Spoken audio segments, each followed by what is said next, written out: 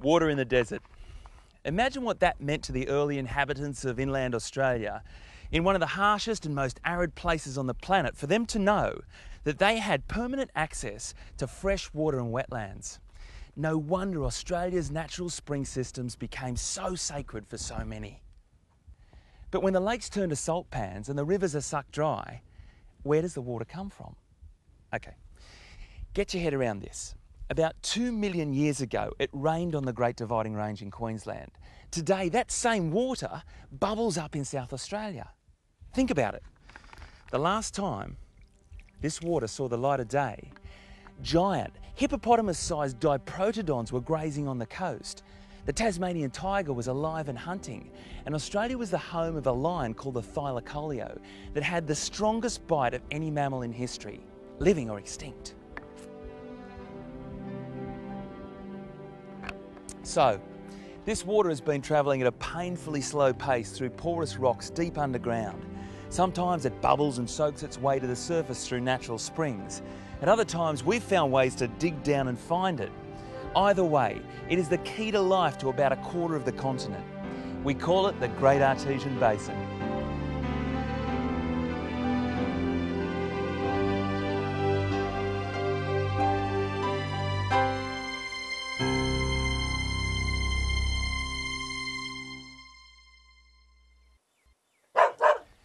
Explain how the Great Artesian Basin works, you need to know how it came to exist in the first place. So here it is, the past 250 million years in a nutshell. Back in the Triassic Age, Australia was joined together with the other southern continents, including Antarctica, South America, Africa, and New Zealand, in a landmass called Gondwana. Now have a look at the top right quarter of Australia. Can you see how it kind of forms a natural dip? That's the area that will eventually become the Great Artesian Basin. Over the next 140 million years, huge events like ice ages in Europe and tectonic plate movements caused the ocean level to rise and fall. When the ocean levels rose, water became trapped in that natural dip and formed a sea. But when the ocean levels fell, the whole area became land again. When the seas drained away, they left clay and silt deposits behind, which hardened into impermeable stone. Remember this. So now we're back to dry land again, but it's not desert yet, and there are rivers crossing it. The rivers carried sand and gravel with them, which later joined together to form sandstone. And that sandstone is the key to how the basin works. Siltstones and mudstones are what scientists call impermeable. There's no way water can get through them. They're like plugs. Check this out.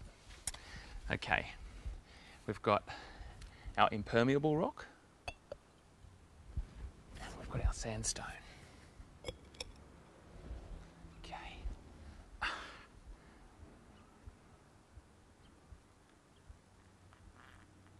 That ain't going through.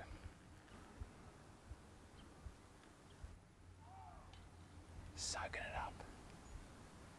Now we wait.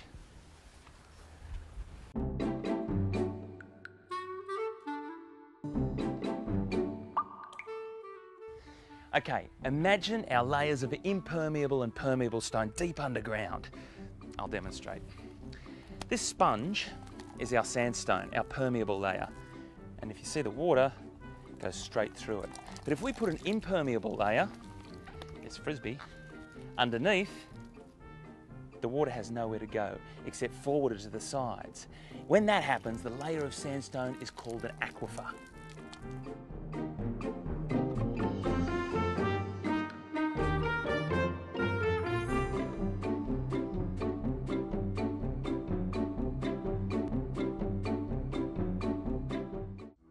It's a massive area. It stretches from Cape York to Dubbo and Pedy to the southeast corner of the Northern Territory. That's almost a quarter of Australia. When it rains on what we call the recharge bed areas of the basin, the water seeps down and collects in the aquifers. Scientists estimate that there's around 65,000 million megalitres of water in the basin right now. A megalitre is a million litres. 65,000 million of them would be enough to cover all the land on the planet in almost half a metre of water. So that whole basin area we saw earlier now has aquifers running all the way through it and has become the Great Artesian Basin.